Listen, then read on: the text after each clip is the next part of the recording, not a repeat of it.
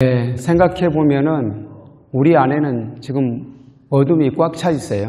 그 어둠은 뭔가 불안한 것, 미래가 불투명한 것, 뭔가 잘 안 될 것 같은 것, 그런 불안, 초조가 있습니다.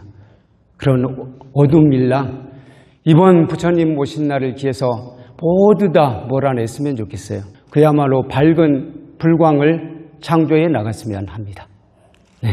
그런 마음으로 오늘 우리 연등을 점등하도록 하겠습니다. 모두 내 마음을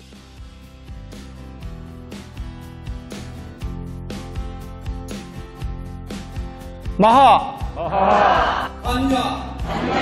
바람이 네 감사합니다. 눌러 눌러.